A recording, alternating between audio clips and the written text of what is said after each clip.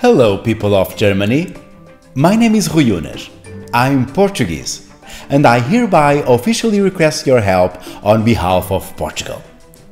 Calm down, we're not asking for more money. no need to start screaming and jumping like Chancellor Merkel does while watching Mannschaft play. or like if she inadvertently sits on the top of our debt without underwear. Something like this. What I'm really asking is, on behalf of my people, I formally ask you to win the game against the United States. 3 0. Simple, isn't it?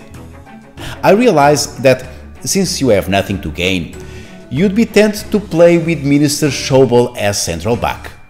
But as you start feeling that temptation to imitate the game of your national team against Austria on the World Cup of 82, where you played with 10 Minister Schauble on locked wheelchairs and somehow won the game, and when I say somehow, I mean some shit that you fixed in order to benefit both, I would love for you to think about this.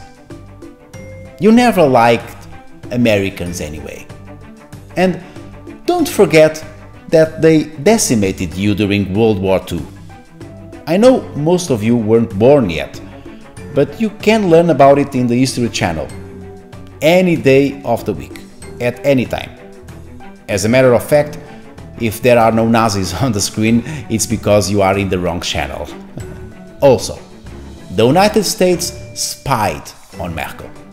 If you don't believe it, check out this official document issued by the German government found in the possession of an American spy. Here it is. I know it actually looks like a kind of pudding sitting on a thick sausage, but I'm not an expert in espionage. Finally, the United States stole you great great man from you who deeply contributed to the American economy, like Bruce Willis, that great American born in the small town of Idar Oberstein at a distance of 10,000 kilometers from Los Angeles and another 100 from Frankfurt. Heinz, the inventor of the world's best ketchup, and even the Hammond brothers. Probably the last one was for the best.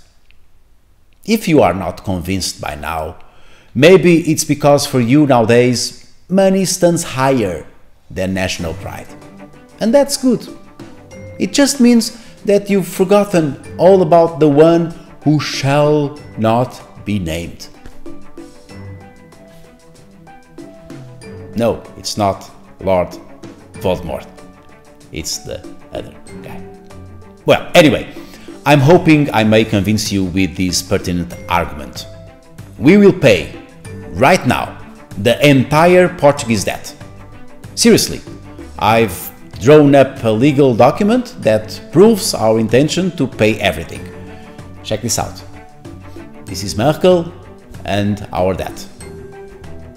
I know it looks like a kind of pudding sitting on a thick sausage, but I'm not very good at drawing.